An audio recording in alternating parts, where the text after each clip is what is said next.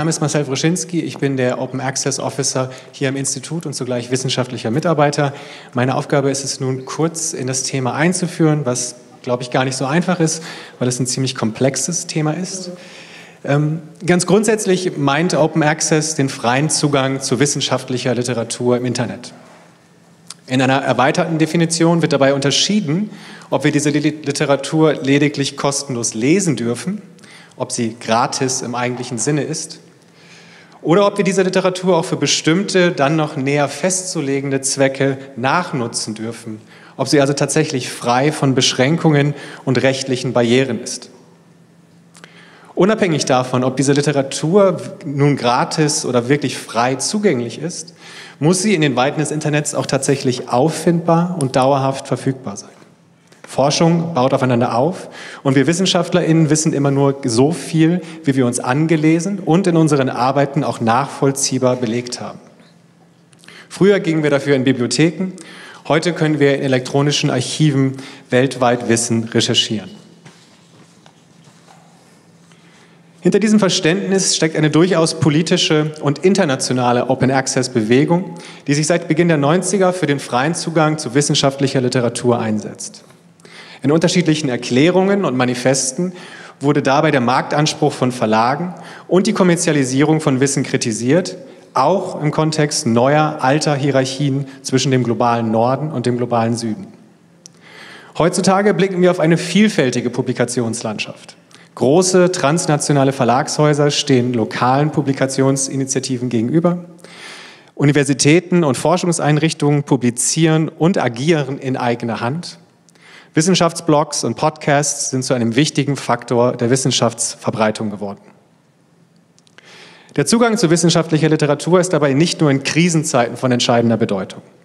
In unseren fragmentierten, hochkomplexen Gegenwartsgesellschaften kommt es mehr denn je darauf an, dass Fakten verfügbar und nachprüfbar sind und wir sie so zu Analysen und Wissen verknüpfen können.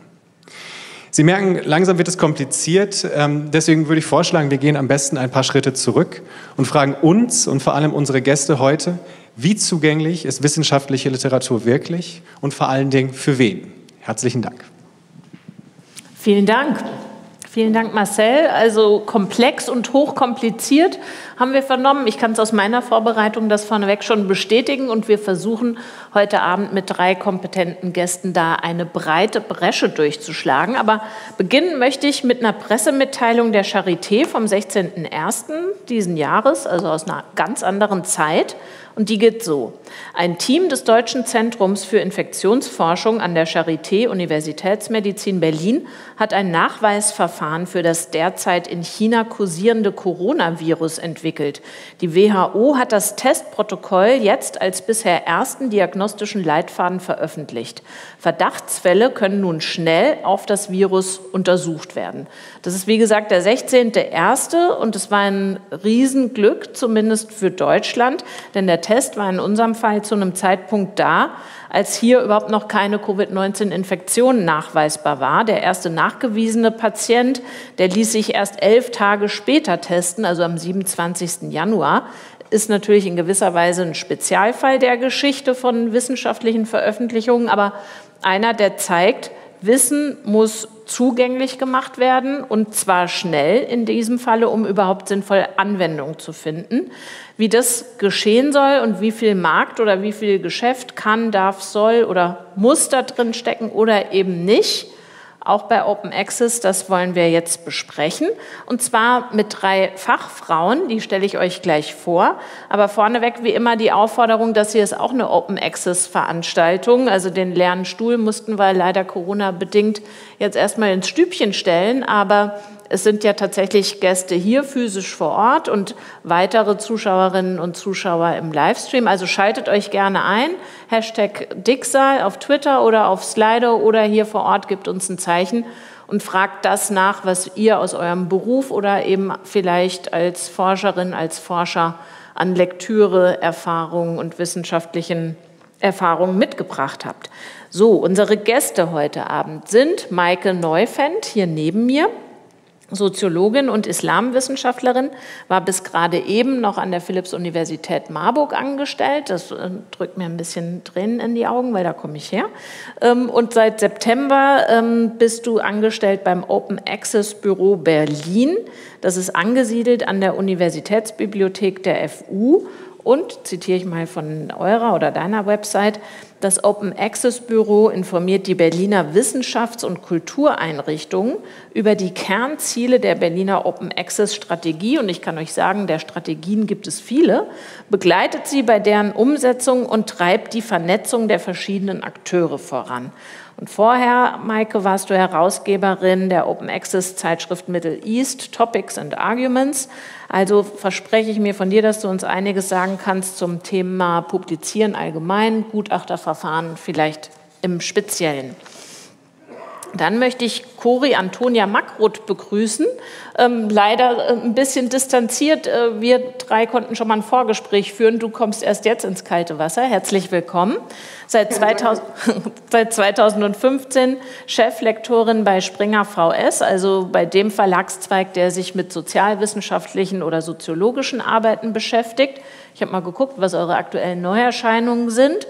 Beispielsweise Bücher wie Delinquenz bei jungen Menschen oder passt total gut zu unserem Thema Wissenschaftskommunikation im Wandel. Das ist ja genau das, was wir heute besprechen. Und insofern bist du natürlich auch mit der Frage nach Publikationsformen und Modellen befasst. Und ähm, Springer Nature, das ist die Verlagsgruppe hinter dem Verlagszweig, äh, für den du arbeitest. Seit Beginn des Jahres auch Teil dieser großen Open Access Vereinbarung der deutschen Hochschulen und Wissenschaftsorganisationen. Und auch ihr bietet, ich hoffe, ich habe das richtig nachrecherchiert, Zugang zu fast allen Publikationen des Hauses. Die große Nature ist noch nicht dabei. Ist das so insofern richtig? Ja, im Großen und Ganzen. Aber ich glaube, wir haben Gelegenheit, das vielleicht etwas genauer nochmal zu erklären. Ja. Das machen wir auf jeden Fall. Herzlich willkommen dir. Und Danke. neben dir sitzt sozusagen Raffaela Kunz vom Max-Planck-Institut für ausländisches öffentliches Recht und Völkerrecht. Und die leitet seit dem vergangenen Jahr das DFG geförderte Projekt, langer Titel, ich muss ihn lesen, Wissenschaftsblogs als Infrastruktur für digitale Publikationen und Wissenschaftskommunikation, Doppelpunkt, Ausbau des Modellprojekts Völkerrechtsblock. Und der genannte Völkerrechtsblock ist einer, den du auch als Co-Chefredakteurin verantwortest. Herzlich willkommen auch dir. Das heißt ja, Raffaela, du betreibst einerseits dein Fach inhaltlich, Rechtswissenschaft, Schwerpunkt Völkerrecht, damit hat sich deine Dissertation befasst und gleichzeitig arbeitest du an oder auf der Metaebene, also an der Frage, wie veröffentlichen wir das, wie vernetzen wir das, also Form und Inhalt gleichzeitig. Ist das üblich 2020 in der Wissenschaftsbranche oder waren das nicht bislang doch eher getrennte Professionen? Ja, bitte mit Mikro, dann haben alle was davon. Klappt das? Ja. ja. Nee, ich würde tatsächlich sagen, das ist nicht unbedingt üblich. Und der Völkerrechtsblock ist tatsächlich auch so ein bisschen aus der Not heraus entstanden. Und zwar sind wir in der Völkerrechtswissenschaft so ein bisschen in einer besonderen Position. Normalerweise, ich bin Juristin und normalerweise sind natürlich juristische Teilgebiete eher national ausgerichtet. Ne? Strafrecht und so ist nationales Recht. Und Völkerrecht ist eben per Definition eben was Internationales. Wir beschäftigen uns mit, mit Recht, das irgendwie die ganze Welt betrifft. Und uns erschien das, als wir diesen Block gegründet haben, fast ein bisschen absurd, dass die Strukturen, wie sie eben existieren, einfach sehr viele Menschen ausschließen vom Diskurs und dass der Diskurs eben ganz oft einer ist, der von ganz wenigen geführt wird und auch nur ganz wenigen zugänglich ist. Mhm.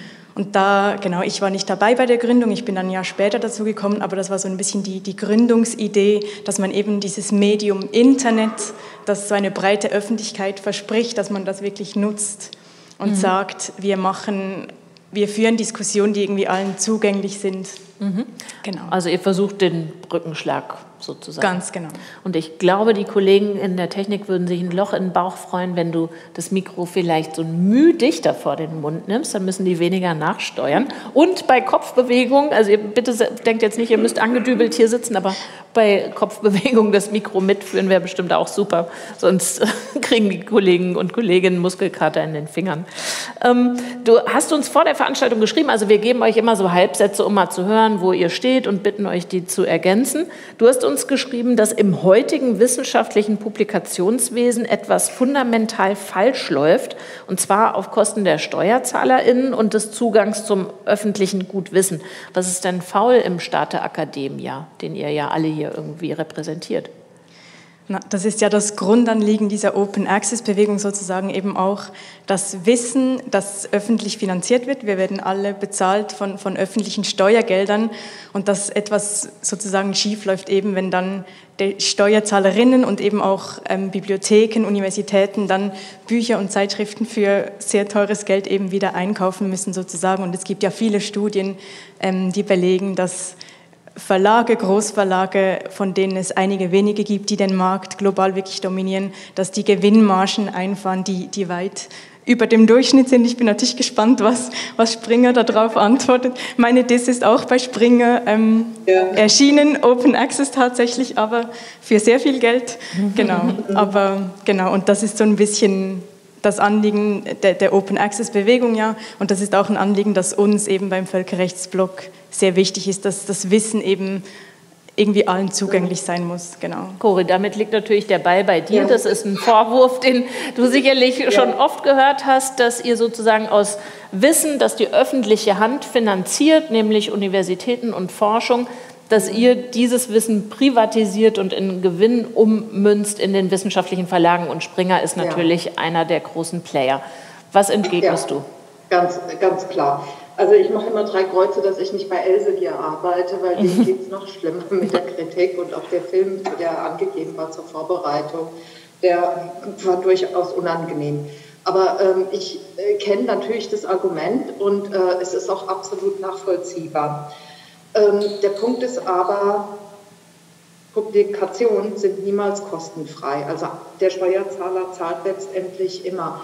Und auch wenn ähm, die Aufbereitung eurer Publikation bei dir im Institut selber stattfindet, es braucht den Aufbau von Infrastruktur, die Dinge müssen gehostet werden, sie müssen aufbereitet werden, man hat Personalkosten und die fallen immer an. Ja? Das heißt also, es ist nie kostenlos, etwas zu publizieren und weiter zu verbreiten. Ähm, das ist das eine. Das andere ist, glaube ich, dass man auch noch mal, ich meine, dass wir natürlich privatwirtschaftlich organisiert sind, wie alle Verlage, das ist auch klar, ja, dass da natürlich auch eine Umsatzerwartung dahinter ist.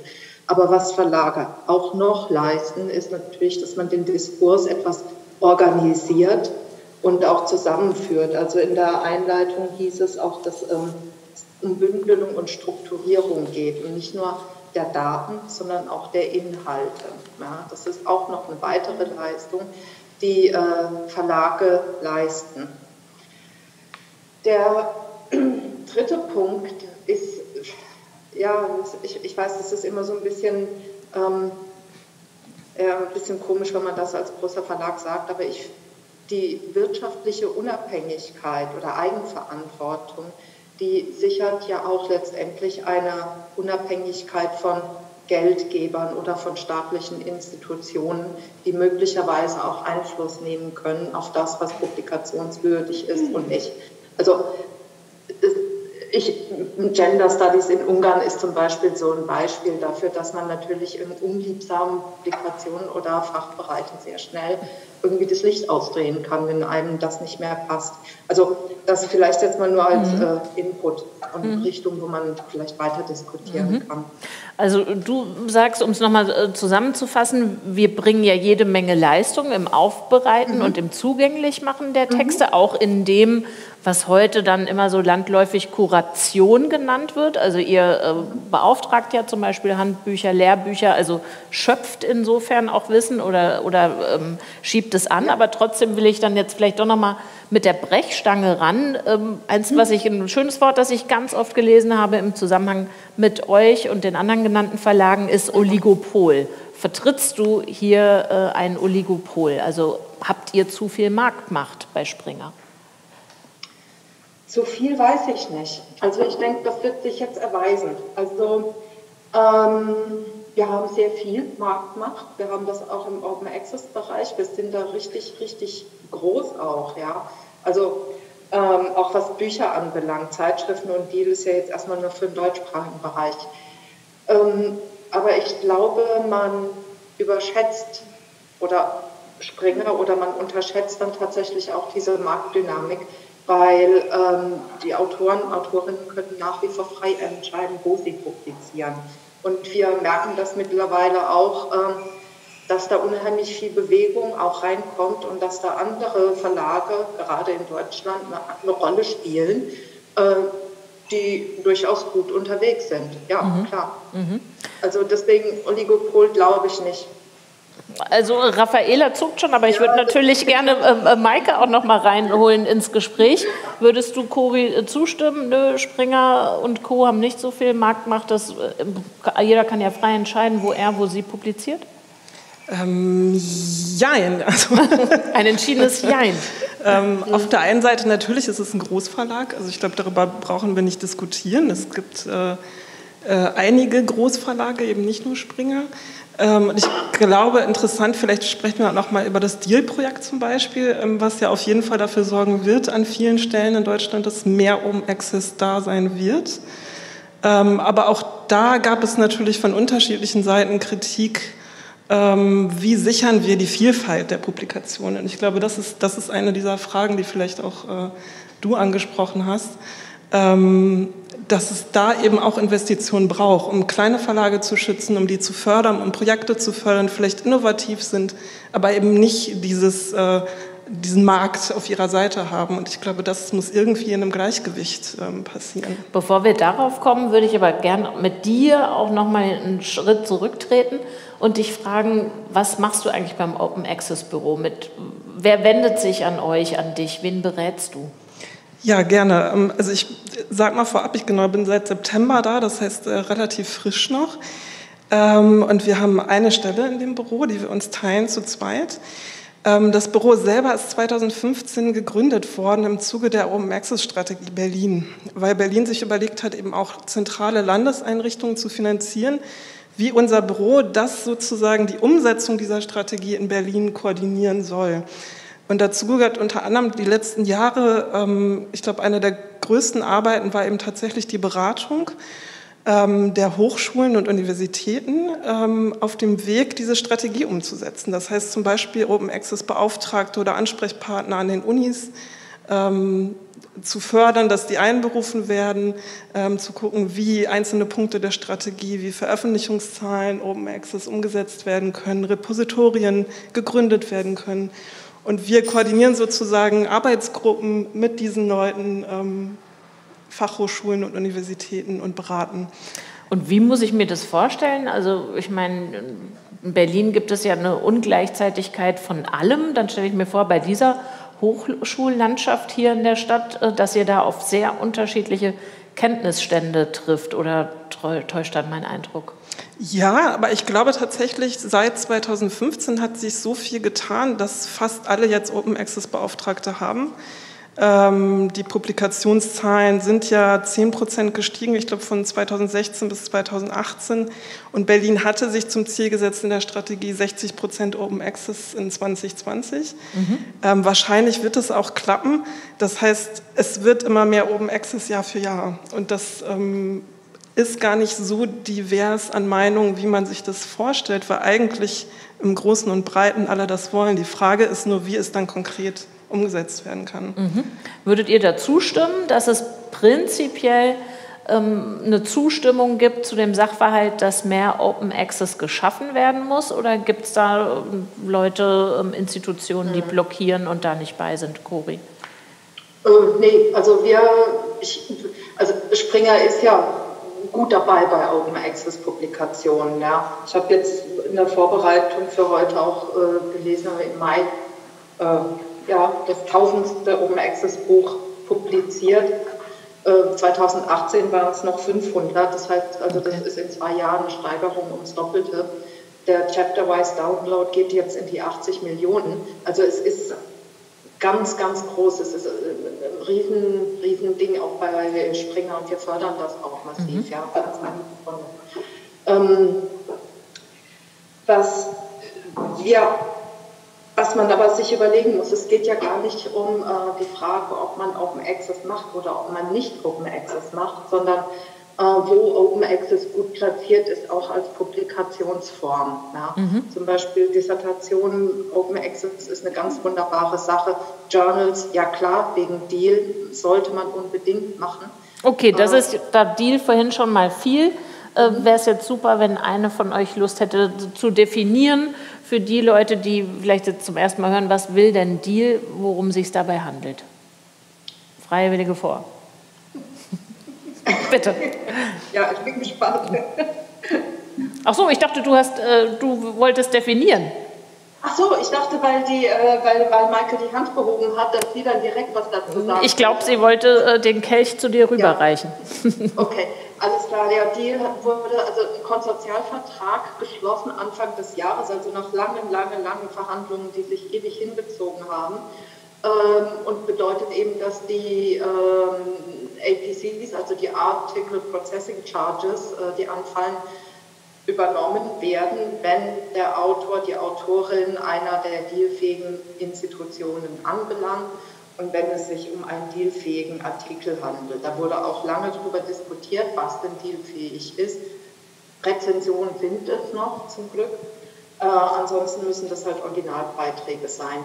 Dann geht es in ein Peer-Review-Verfahren und wenn mhm. dann irgendwie alles geprüft ist und okay ist, dann werden die äh, Artikel eben Open Access publiziert.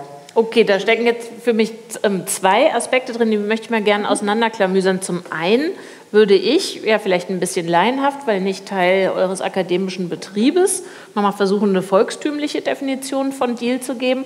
Für mich, also jetzt quasi in Fraktur bedeutete das, vorher bezahlten die Bibliotheken, die Institutionen dafür, ähm, eure Journals und Zeitschriften übernehmen zu können. Jetzt wird sozusagen vor Veröffentlichung gezahlt. Also es fließt weiterhin Geld für die Arbeit, die geleistet wird, aber sie wird an einer anderen äh, Stelle wird sozusagen bezahlt. Äh, es gibt andere, die zahlen, nämlich die Forschungseinrichtungen, die Netzwerke und Institutionen. Genau. Insofern, äh, Raffaella, ist wahrscheinlich der Titel unserer Veranstaltung heute Abend ein bisschen überschwänglich, oder? Also die Paywall fällt ja. nicht, sie wird äh, hier weggenommen und da wieder aufgebaut. Also genau, die Kosten werden eigentlich verlagert. Ne? Es geht darum, dass man nicht mehr zahlt für Zugang, sondern man, man bezahlt neu fürs Publizieren. Also es ist mhm. eine Umschichtung sozusagen. Aber ich glaube, was bei Deal ganz wichtig ist, was man wirklich in den Vordergrund stellen muss bei diesem Deal-Projekt, ist eben, dass es die zentrale Stellung der Verlage eben beibehält sozusagen. Also es geht nicht darum, ein alternatives Publikationsmodell zu schaffen, sondern es geht eben darum, dass man die Verlage beibehält sozusagen, dass man weiterhin Verlagen das Geld dafür gibt, zu publizieren. Und das ist genau das, was zum Teil eben auch sehr stark in der Kritik ist, weil man auch sagt, das geht auch auf Kosten kleinerer Verlage, weil vor allem eben die Großverlage Teil dieses Pakets sind, kleinere gehen außen vor sozusagen und einfach sehr viel Geld da den Großverlagen öffentlich zugesichert wird sozusagen, genau.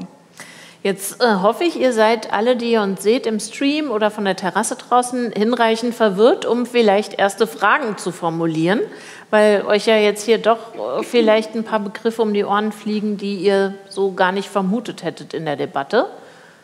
Also wenn, dann gebt gerne, ah ja, ich sehe hier durch das spiegelnde Glas äh, hebt sich eine Hand. Ist immer super, wenn, wenn die Gäste auch sagen, aus, aus welchem Orbit sie sprechen. Also forscht ihr, ähm, arbeitet ihr in der Verlagsbranche, also aus, aus welcher Perspektive sprecht ihr zu uns? Bitte schön. Aus dem IT-TK-Umfeld, aber eher Praktiker als, als Forscher. Mhm. Nichtsdestotrotz interessiert mich das Thema Open Access, weil ich relativ nah an der TU dran bin und das ist natürlich auch ein großes Thema. Mhm. Äh, zwei Aspekte. Der erste Aspekt würde mich interessieren, äh, mal gegenüberstellen. Was kostet das, wenn ich ein Fachmagazin, kann man so zwei, drei Beispiele nennen, gibt es ja verschiedene, wenn ich das abonniere als Institut, als, als Universitätsbücherei, was kostet es als Gegenpol sozusagen dazu, wenn ich einen Artikel veröffentliche mit dem Deal? den gerade angesprochenen. Und mhm. das Zweite wäre, ähm, ich finde OpenXL super, will ich gar nicht, aber das Problem, was ich so ein bisschen sehe, ist wie. Weil das Problem ist, wenn man dann 20 verschiedene Blogs hat zu einem Fachthema, einem Fachbereich, dann ist nachher gar nicht mehr abzusehen, was ist denn relevant, was ist nicht relevant. Wie funktioniert das dann am Ende noch mit dem Peer Review? Mhm. Das wäre so ein Problem, was ich sehe. Mhm. Okay. Das sind die zwei Sachen. Da sind ganz viele Fragen drin, die ich tatsächlich auch gerne hier heute Abend geklärt hätte. Fangen wir erstmal beim Monetären an. Ähm, ich will eine Zeitschrift abonnieren von Springer Cori und ähm, will das als Privatfrau und einmal will ich es als Staatsbibliothek Berlin. Was kostet mich der Spaß? Ich kann nur sagen, also Bibliothekspreise im Schnitt kann ich dir nicht sagen, weil ich bin Sozialwissenschaftler, aber wenn du bei uns im Berliner Journal für Soziologie ähm, abonnierst, Jahrespreis sind 250 Euro. Mhm. Als Privatmensch. Als Privatmensch. Mhm. Wie viel das mit den Bibliotheken ist, was da für Preise ausgehandelt wurden, das vermag ich nicht zu sagen. Da bin ich im Publishing und Lektorat und da bin ich ferngehalten von allen möglichen ähm, äh, Verhandlungen, Preisverhandlungen. Dealpreise sind äh, APC 2.3 und da gehört aber, es ist eine Publish-and-Read-Komponente, das heißt also, man bezahlt das aber man hat dann dadurch auch Lesezugriff auf das komplette Springer-Programm. Das heißt also, bezahlst nicht nur den Artikel, sondern darfst dann, hast auch Leserechte dann erworben auf das komplette Portfolio. Ähm, was natürlich irgendwie äh, hinüberfällt, sind natürlich Abos. Gell? Weil mit Open Access, da hast du dann letztendlich äh, eine Online-First-Komponente. Das heißt, das, was fertig ist, wird hochgeladen ähm, der Wert des gebundenen Heftes entfällt und über kurz, über lang wird es natürlich auch keine Printabos mehr geben. Ja, das ist dann hinfällig, sondern das wird sich wahrscheinlich auflösen in eine Ansammlung von Einzelartikeln. Ja? Mhm. Und ähm, da weiß ich ehrlich gesagt auch noch nicht so ganz genau, was das denn mit der Wiedererkennbarkeit von äh, solchen Traditionszeitschriften macht oder auch dem Profil, das Publikationen ja auch haben. Ja. Mhm. Dann frage ich euch beide nochmal, was äh, kostet es mich sozusagen von der Seite der veröffentlichen wollenden Person? Das war ja äh, die Frage, die dann noch unbeantwortet jetzt geblieben ist. Also was muss ich hinlegen, äh, damit mein Artikel publiziert wird? Wisst ihr das?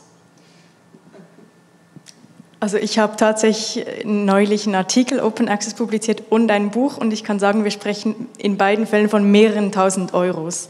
Das also, heißt, die bringst aber nicht du auf, sondern das Max-Planck-Institut. Ich habe das große Glück, genau, dass das ja. das Max-Planck-Institut übernimmt. Aber ein Artikel kostet mehrere tausend Euro und ein Buch fast 10.000 tatsächlich. Bedeutet das dann nicht aber auch, also ich vergesse deine weiteren Fragen nicht, aber ich würde da gerne kurz dranbleiben, bedeutet das dann nicht aber auch, dass diese 1000 oder dann Buch 10.000 Euro im Forschungsetat fehlen, weil früher wurde dann meinetwegen deine Forschung finanziert und deine Reisen, Auslandsreisen zu Kongressen und so weiter. Und jetzt muss ich ja schon, bevor ich das Projekt aufsetze, denken, Mensch, am Ende schreibt die was und will es publiziert sehen.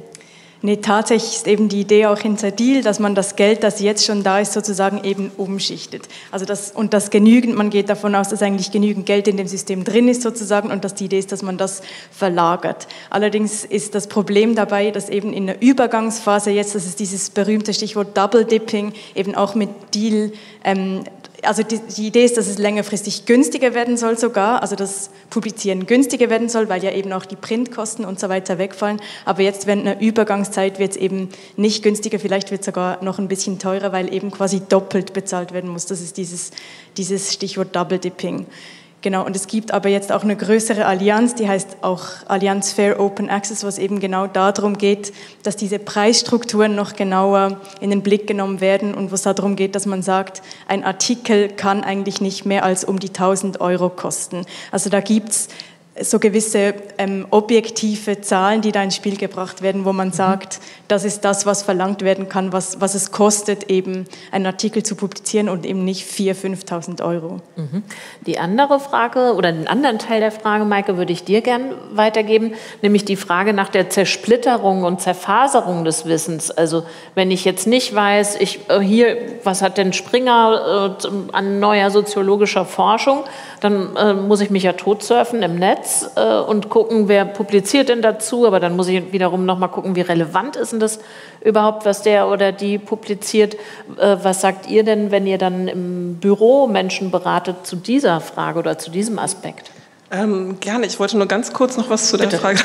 Will ich nicht abwürgen. Nur um das vielleicht abzuschließen. Es gibt äh, in Deutschland auch Publikationsfonds. Das heißt, das sind tatsächlich andere Töpfe, aus denen Open Access bezahlt wird. Das sind nicht die Töpfe, die Forschung bezahlen. Mhm. Ähm, und diese Töpfe werden gefüllt von der DFG. Das heißt, man beantragt die. Und das soll sozusagen die Umwandlung zu Open Access unterstützen. Ähm, ob das jetzt zu viel ist oder nicht, ist natürlich genau die Diskussion. Äh, muss ein Artikel 2700 Euro kosten, wie der Dealvertrag, glaube ich, mit Wiley abgeschlossen wurde? Ist das ein angemessener Preis? Das ist eine andere Frage, aber es sind auf jeden Fall unterschiedliche Finanztöpfe, wollte ich noch mal erwähnen, ähm, weil es das ja auch alles vor Deal schon gab. Also man konnte ja auch vor Deal seine Artikel Open Access schon veröffentlichen gegen diese APCs. Ähm, zu der Verfaserung, ja, das ist eine gute Frage. Ähm, ich glaube, dass das tatsächlich äh, grundsätzlich sehr am Wandel ist. Ähm, und ich glaube, dass es äh, bei der Frage, weil es geht ja im Grunde genommen um Qualitätssicherung, äh, Prozesse der, des Qualitätsstandards. Wie können wir überhaupt feststellen, was ist gute Wissenschaft? Ähm, und es hat sich so in den letzten Jahrzehnten etwas herausgestellt, ähm, zum Beispiel bei Journals spricht man von einem Impact-Faktor.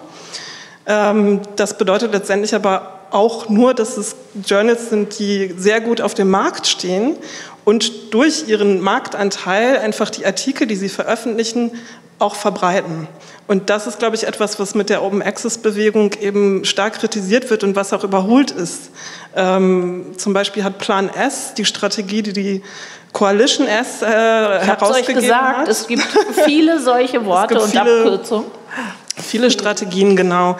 Ähm, da sitzen viele internationale Förderprogramme drin in dieser Koalition, äh, die eben auch eine Strategie herausgegeben hat. Und die sprechen zum Beispiel unter anderem von den äh, Article-Level Metrics.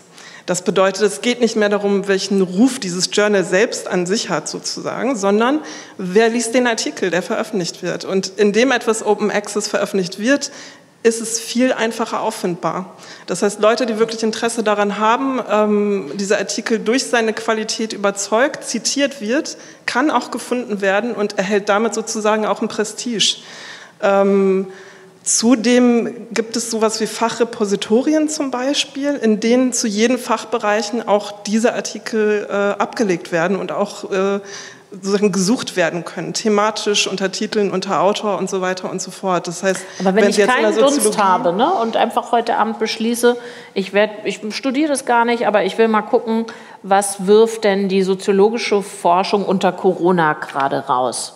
Und setze mich hin und äh, nehme die Suchmaschine meines geringsten Misstrauens, finde ich all das, was du mir gerade genannt hast? Oder muss ich nicht eben doch gerade an der äh, Universität äh, studieren, um zu schnallen, da gibt es das, das und das. Gehst du dahin, guckst du dir das an? Ähm, ja, ich glaube, um die Suchmaschine unseres Vertrauens wirklich zu verstehen, sollte man sich wahrscheinlich damit auseinandergesetzt haben und vielleicht nicht unbedingt die ersten ähm, Dinge, die da auftauchen, immer verfolgen, sondern vielleicht ein bisschen tiefer reingehen. Das stimmt. Ähm, aber ich glaube, dass sich dahingehend auch nicht so viel geändert hat, weil wer hat uns vorher gesagt, dass wir uns zum Beispiel auf Springer verlassen können, was die uns vorsetzen, was neu in der Soziologie ist. Okay, dann steckt jetzt noch für mich ähm, ein dritter Aspekt in deiner Frage. Ähm, bei euch schwang das jetzt überall schon mit. Ähm, mit dem Impact-Faktor hast du angesprochen, Peer Review ähm, wurde vorher genannt.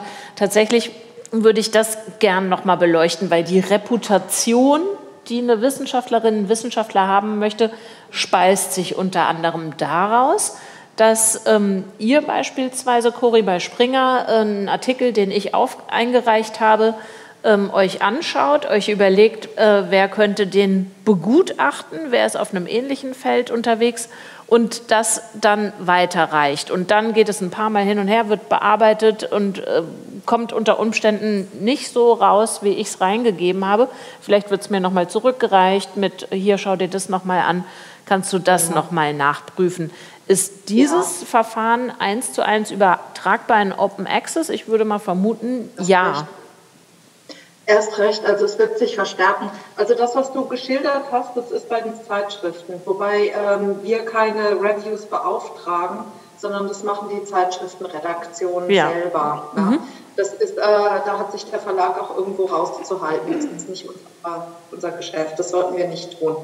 Es hat sich jetzt aber herausgestellt, dass ähm, ähm, in, in, in, wenn man ein Funding beantragt, ähm, zum Beispiel beim Schweizer Nationalfonds oder beim FEF, also beim österreichischen Pendant, ähm, dass die auch die Open Access Förderung nur dann gewähren, wenn die, Bücher, wenn die Bücher gereviewt sind. Das ist etwas, was man im deutschsprachigen Buchbereich eigentlich nicht macht. Das heißt, da entscheiden die Lektoren und Lektorinnen über die Annahme eines Buches. Und äh, durch diese doppelte Prüfung, was förderungswürdig ist, ähm, kommen auf einmal diese Review-Geschichten auch in den Buchbereich rein. Mhm. Ich kann es auch verstehen, es geht um einen Haufen Geld und dann möchte man auch sicher gehen als Funder, dass die, dass die Sachen auch wirklich gut sind, die da äh, gefördert werden. Ich befürchte nur, dass sich diese naja, das, äh, diese Nachteile, die man ja auch im, im, Zusammenhang mit Review schon beobachten konnte, dass sich die dann noch weiter verstärken. Also dass sich dann auch im Buchbereich diese Reputationsökonomik breit macht. Ähm, äh, Lass mich das kurz verstehen. Das klingt für mich so, als ob du nicht der größte Fan des Verfahrens bist. Ähm, doch, aber man muss, es, man, muss die, man muss sich vorher über die möglichen Folgen im Klaren sein. Ja? Was wäre das? Also, Review ist es sowas, also bei, bei Zeitschriften-Reviews, ähm, es führt längerfristig auch zu einem Streamlining, zu einem inhaltlichen. Ich weiß es zum Beispiel bei uns Soziologen, also so groß ist die Community nicht. Die Reviewerinnen wissen im Prinzip auch manchmal schon, wer die Autorinnen sind und dann werden dann da auch schon irgendwelche äh, Grabenkämpfe und solche Konflikte werden dort auch mit ausgetragen. Mhm. Ja. Ähm, ich fürchte, ja, und das ist eine Gefahr, also es geht nicht darum, ob ich Fan bin oder nicht Fan bin, ähm, dass durch die Reviews auf einmal Entscheidungen gefällt werden, die, also die, die darüber entscheiden, welches Buch Open Access publiziert wird, mehr Aufmerksamkeit erregt als ein Buch, das dann nicht Open Access ist, aber vielleicht irgendwie von der Thematik her irgendwie edgy ist, aber halt dann nicht so häufig gelesen wird oder vielleicht auch einfach besser ist. Und das ist eine leichte Verzerrung in den Chancen, die Themen oder auch neuen Themen dann eingeräumt werden, die ich hm, durchaus kritisch diskutieren wollte. Mhm. Und ihr beide, Raffaela, Maike? Also ich kann da ähm, vielleicht aus meinem Fachbereich, äh, also den Nah- und Mitteloststudien, ähm, vielleicht ein Beispiel nennen, wo ich äh, Corrie recht geben muss. Also ähm, gerade Zeitschriften zum Beispiel, die einzelnen Artikel freischalten lassen, in dem viel Geld bezahlt wird, um APCs ähm, zu bezahlen, was sich vielleicht die anderen Autoren des, desselben Ausgabe dieser Zeitschrift nicht leisten können, ähm, haben natürlich eine ganz andere Aufmerksamkeit. Und das kann Sachen aus dem, Ungleich, also aus dem Gleichgewicht bringen. Ähm, in dem Fall handelt es sich zum Beispiel um eine, um eine ähm, um eine Ausgabe, in der es um die Politik in der Türkei ging. Und der einzige Artikel, der freigeschaltet wurde, war ein Autor, der sehr AKP-nah ähm, mhm. publiziert hat. Ähm, das sind spannende und problematische Fragen, auf jeden Fall. Ähm, ich würde deswegen natürlich immer dafür plädieren, dass alles Open Access ist, ähm, um diese, sozusagen, dieses Ungleichgewicht ähm, auszugleichen. Dann gehen wir vielleicht nochmal mit Raffaella in den äh, Blog. Äh, wie seid ihr da verfahren? Also wie habt ihr entschieden, wer da was publizieren darf? Also Stichwort Qualitätssicherung ist natürlich ein super wichtiges Stichwort, eben auch in der Open Access Landschaft. Und wir beim Blog, wir haben tatsächlich auch ein, ein Peer-Review-Verfahren, was für die Rechtswissenschaft in Deutschland übrigens gar nicht typisch ist. Es gibt ganz viele Journals, die keine Peer-Reviews machen ähm, im deutschsprachigen Raum. Und wir beim Blog haben uns aber von Anfang an eben gerade wegen dem Stichwort Qualitätssicherung dafür entschieden, dass wir einen wissenschaftlichen Beirat haben. Und bei uns werden tatsächlich, also es wird nie etwas einfach eins zu eins publiziert auf dem Blog, das reinkommt, sondern es, es, es durchlaufen alle Beiträge, durchlaufen ein Verfahren. Nicht ganz alle sind double blind, muss ich zugeben. Es kann auch mal sein, dass es super schnell gehen muss, aber vier Augenblicken immer drüber. Mhm. Möchtest du was ergänzen? Ich, ich würde ganz äh, gern was zu der Diskussion über die Frage von Qualitätssicherung noch ergänzen. Ähm, ich habe selber ja auch ein Journal herausgegeben und wir haben versucht, das Open Review einzuführen. Das was? Entschuldigung? Das Open Review. Ja, also heißt? auch ein Teil sozusagen der Open Access Bewegung oder Open Science Bewegung in dem Sinne. Das bedeutet, dass eben die Reviewer nicht mehr double blind sind, sondern dass man sich kennt. Und damit natürlich auf der einen Seite die Probleme, die du angesprochen hast, ausgeräumt werden. Man kennt sich sowieso, gerade wenn es kleine Fachcommunities sind, äh, was in meiner Community in der Islamwissenschaft definitiv der Fall ist. Das heißt, man kann auch direkt namentlich miteinander sprechen. Und die Idee dahinter ist natürlich, dass es eine Demokratisierung dieses Qualitätsstandards fördern soll. Ähm, in unserer Fachcommunity war es sehr schwer, das zu verkaufen. Die Leute haben Angst davor, ihre Kritik öffentlich zu nennen.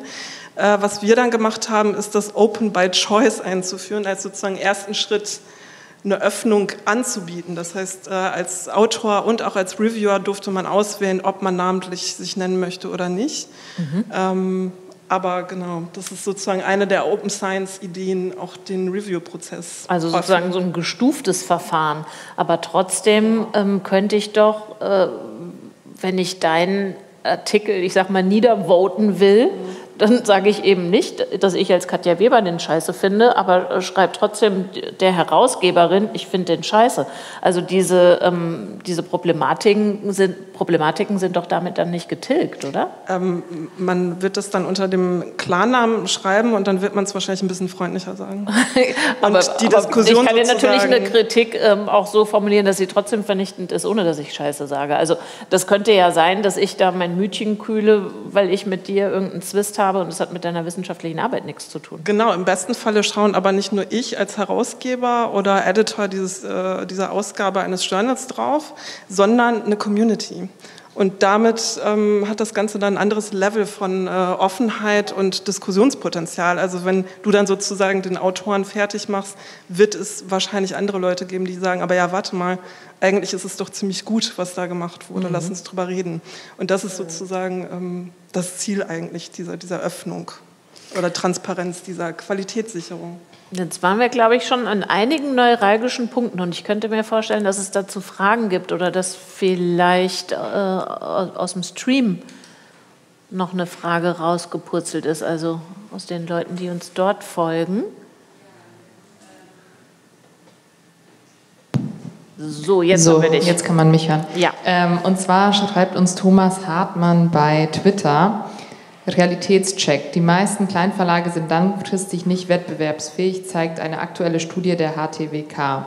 Also haben sie überhaupt Bedeutung? Ich habe jetzt geguckt, diese Studie ist ähm, vor ein paar Tagen rausgekommen mit dem Titel Verschlafen deutsche Kleinverlage die Digitalisierung. Und bei Slido hat uns auch noch eine Frage erreicht. Die geht ein bisschen in eine andere Richtung und zwar ähm, schreibt anonymer Nutzer. Hallo, mein Eindruck ist, dass die illegalen Angebote oft viel besser und schneller funktionieren, als meine Uni-Bib es leisten kann. Gerade bei abseitigen Journals. Es scheint ziemlich viel in den Untergrund zu wandern. Stimmt ihr überein? Okay, also machen wir es chronologisch in der Reihenfolge der Frage. Verschlafen die Kleinverlage die Digitalisierung? Ich weiß nicht, wer von euch dreien sich bemüßigt fühlt zu antworten. Raffaela, bitte.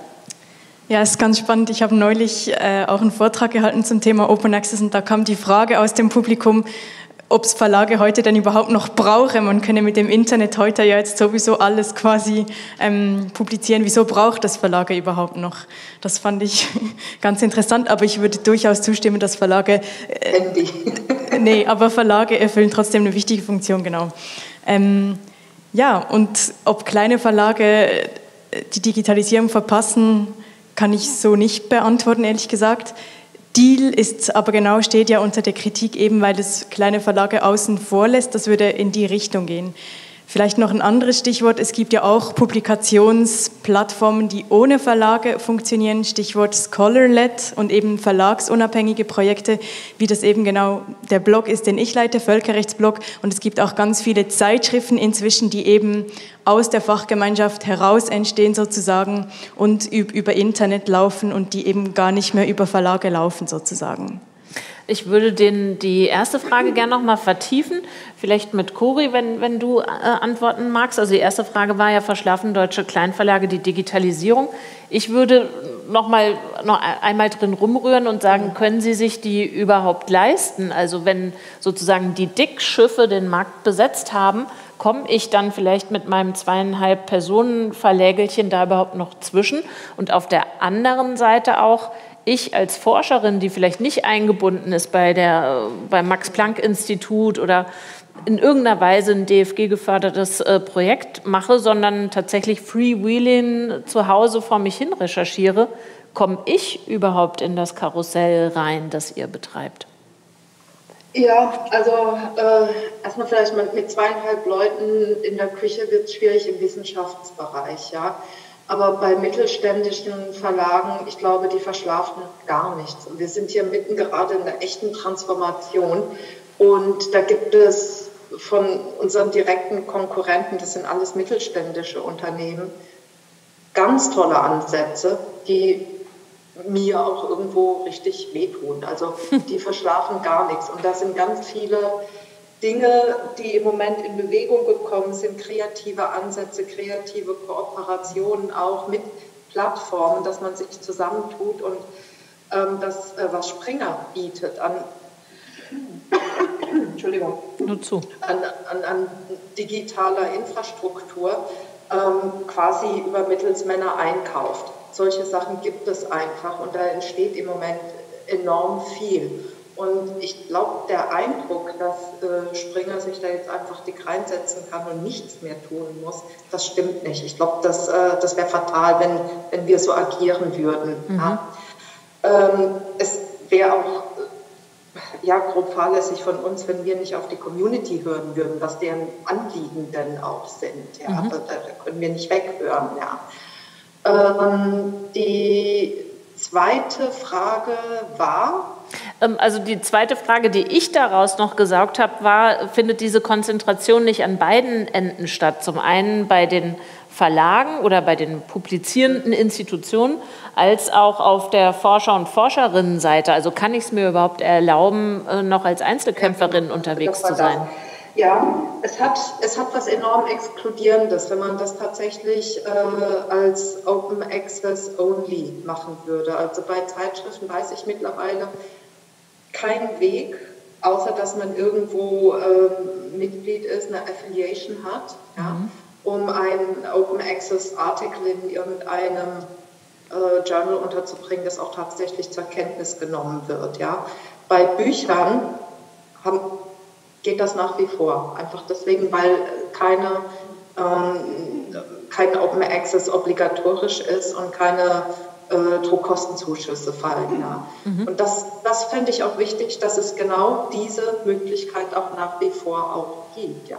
Weil wenn das alles erstmal kostenbewehrt ist, der Zugang zu Publikationswegen, dann würde das irgendwie erst recht durchökonomisiert werden. Mhm. Ich habe aber den Blick von Maike zu mir vorhin so gedeutet, ja. als würde sie dir gerne widersprechen. Ja, genau. Ich würde dir gerne an einer Stelle widersprechen. Und zwar ähm, gibt es bei Open Access, ähm, das sind jetzt auch wieder so Begriffe, weil wir sprechen da von Gold und Grün Open Access. Ja, wir, wir haben leider ähm, versäumt, euch ein Glossar anzufertigen. Wir hätten noch mal so ein kleines Handout machen können, dann könntet ihr jetzt blättern Gold und Green genau. und Platinum. Aber nur um zu erwähnen, es gibt auch die Möglichkeit, Open Access zu publizieren, ohne dass es was kostet für die Autoren ja. und auch keine APCs. Ich denke, bei eurem Blog ist es wahrscheinlich ähnlich, bei unserem Journal ist es auch so gewesen. Ja. Ähm, das Ganze ist dann eben oft, was du auch schon erwähnt hast, unter der Scholar-Led-Bewegung.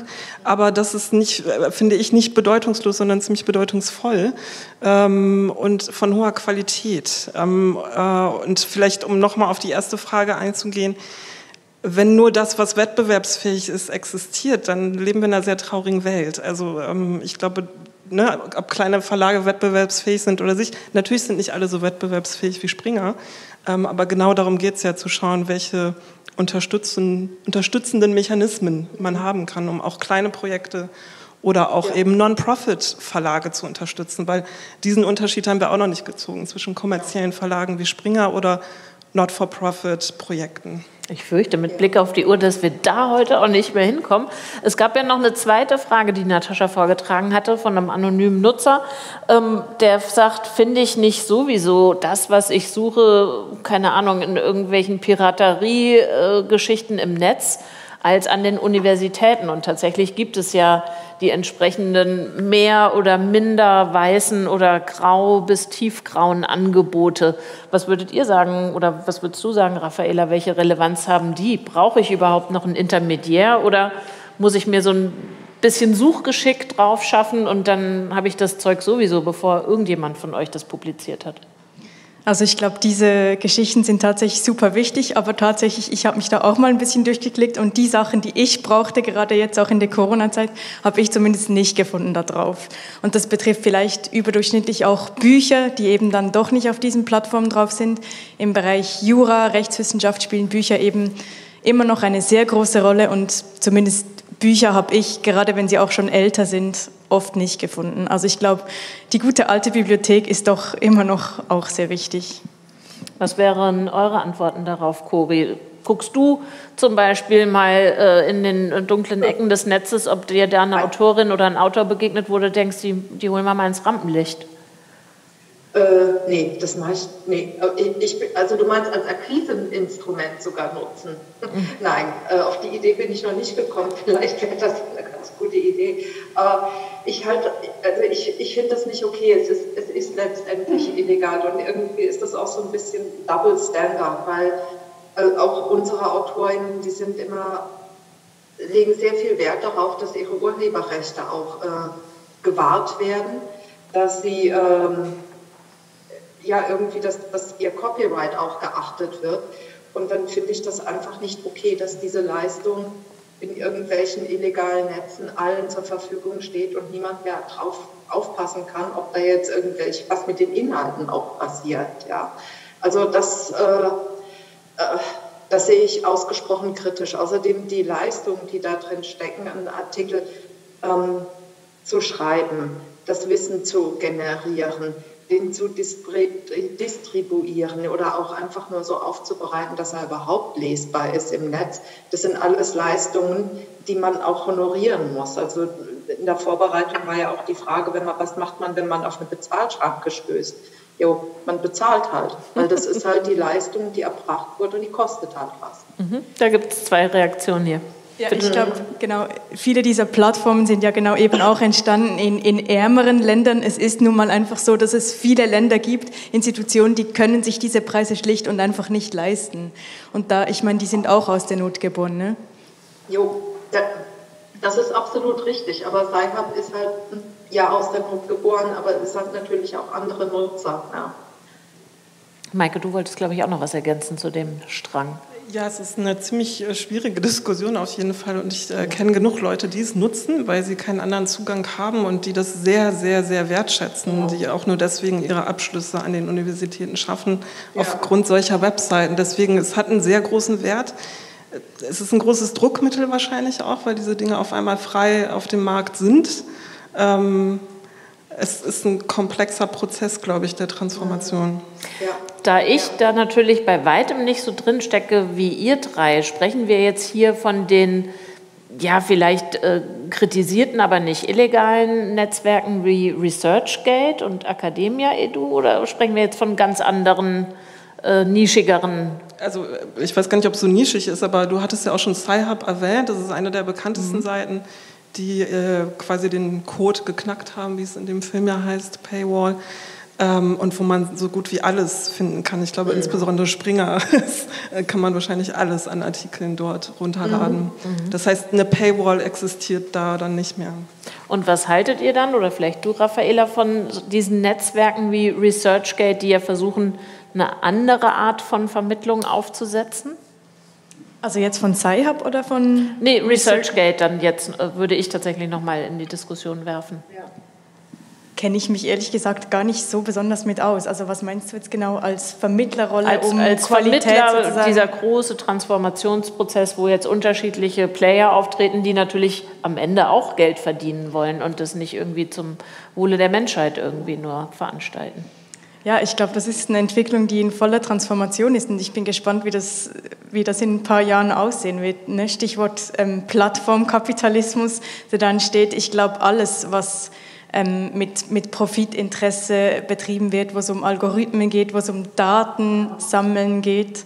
Daten, das neue Gold sozusagen, wird sich in ein paar Jahren weisen. Ich persönlich glaube, dass es wichtig ist, dass man, dass man eben nicht kommerzielle Alternativen dem entgegensetzt, öffentlich finanzierte Infrastrukturen, dass man eben nicht Wissenschaft nur rein profitgetrieben betreibt.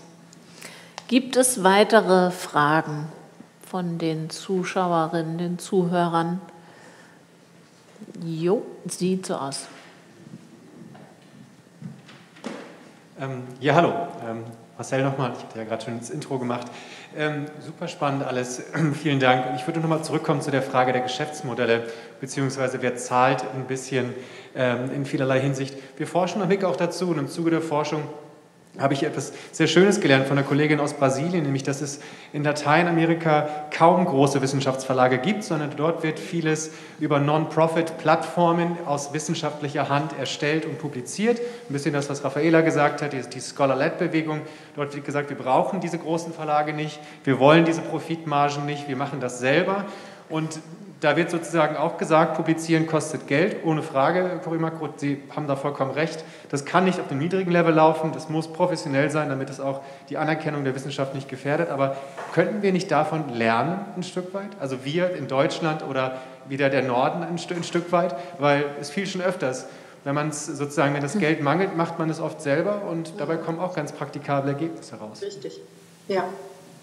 Also äh ja, das ist natürlich immer für mich immer so ein ganz, ganz schlüpfriger Untergrund, wo ich dann auch immer hoffen muss, dass jemand von der Geschäftsleitung wirklich zuhört.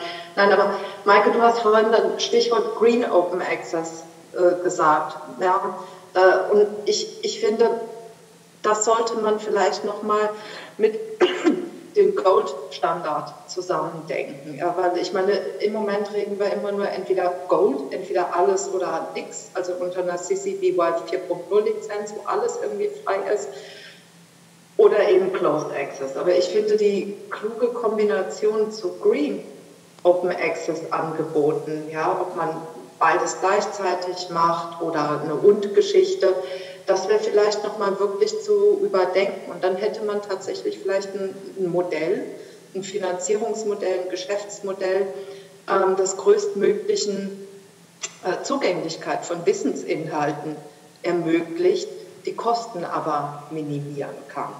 Also das sind, das sind vielleicht Überlegungen, die man auch nochmal anstellen muss, dass es nicht äh, schwarz oder weiß ist oder hopp oder top, sondern dass es auch Kombinationsmöglichkeiten gibt.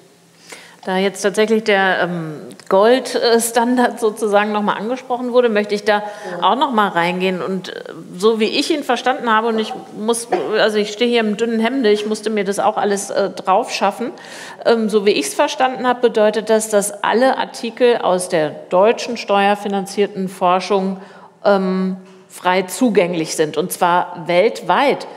Ich habe mich gefragt, äh, was hat denn der Wissenschaftsstandort Deutschland davon? Sagt jetzt China auch, sagen die Vereinigten Staaten auch, ey, voll super, wir dürfen von euch alles lesen, lest ihr mal von uns alles?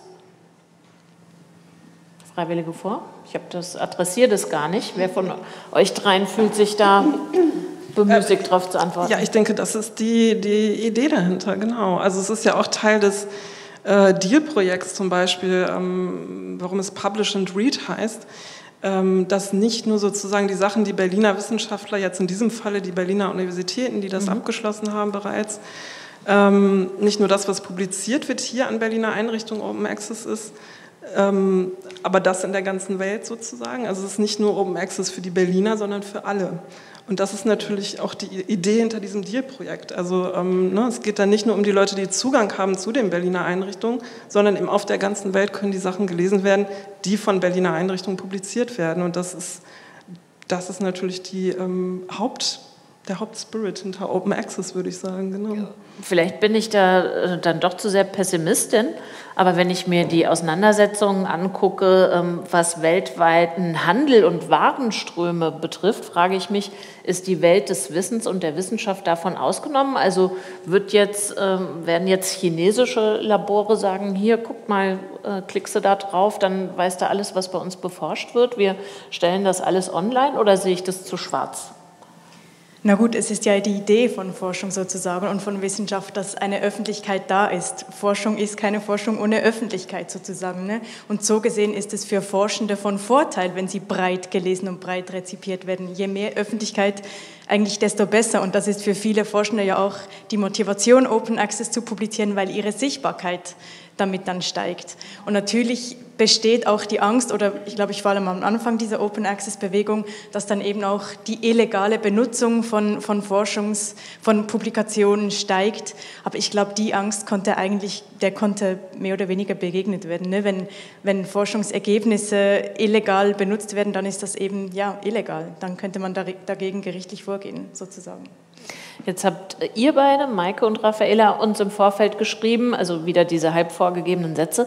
Ich kaufe Printbücher und Zeitschriften, weil sie nicht Open Access sind, also im Umkehrschluss. Anders wäre es mir lieber. Ist das so? Hättet ihr gerne, also hier, ich sehe bei dir, Cori, im Hintergrund äh, diese äh, Bücherwand, das Regal hättet, äh, ich meine, Tagesschau und heute Journal hätten ein, Riesen, hätten ein Riesenproblem. Wenn das jetzt alles ähm, im Computer steckt, dann wissen sie nicht mehr, wo sie ihre Experten filmen sollen und hinstellen sollen.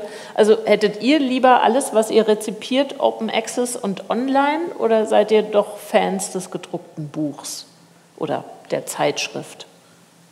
Ähm, ja, also ich möchte auf jeden Fall nicht, dass das abgeschafft wird. Aber ich kann sagen, dass in meinem wissenschaftlichen Arbeiten ich nur noch im elektronischen arbeite. Ja, also ich brauche das gedruckte Buch dafür nicht mehr. Mhm. Ähm, und ich weiß, dass es Kolleginnen und Kollegen gibt, die das äh, anders sehen, aber ja, auf jeden Fall. Also ich würde es immer bevorzugen, das als PDF zu haben, als E-Book. Ähm, ich habe äh, meine zwei Bildschirme, das reicht völlig aus. Ja. Ist das bei dir genauso, Raffaella? Das ist bei mir genauso, würde ich unterschreiben. Und tatsächlich war es jetzt gerade in der Corona-Zeit wirklich auch zum Teil eine Herausforderung, an Bücher eben zu kommen, die es online nicht gab. Die Bibliothek war länger zu, Reisen war schwierig. Also das war wirklich für Forschende eine Herausforderung. Und viele Verlage haben dann ja tatsächlich reagiert und Sachen eben auch Open Access gestellt, aber ältere Literatur eben gerade nicht. Alles, was eben noch in den Bibliotheken lagert, tatsächlich war jetzt länger nicht zugänglich. Äh, Cori, tatsächlich hast du uns geschrieben, ich kaufe Printbücher und Zeitschriften, weil ich die Haptik brauche und mit dem Stift in der Hand besser lesen und verstehen kann. Und mir geht es ja. exakt genauso. Also ich würde mich jetzt äh, hier so nicht wohlfühlen, wenn ich tippen müsste, um mir eine Notiz zu machen. Ich mache es tatsächlich auch oldschool. Ähm, ist das eine Generationsfrage? Also sind wir beide zu stark auf Print geprimed und die beiden schon nicht mehr? Ähm, nee, ich glaube nicht. Ich habe noch in Klammern geschrieben, ich habe auch schon Open Access Bücher gekauft.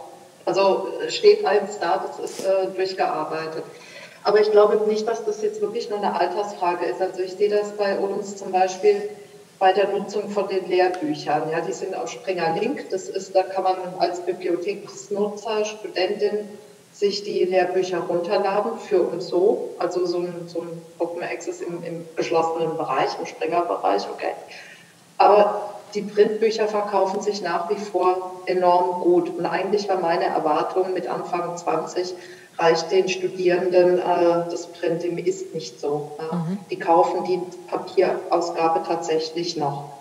Und dann habe ich eine Studie gelesen, also Umfrage, ähm, von den, also von 83 Prozent von den befragten Autorinnen, die schon mal Open Access publiziert haben, legen Wert auf das Print. Also die wollen auch nach wie vor, dass eine Printausgabe parallel erscheint.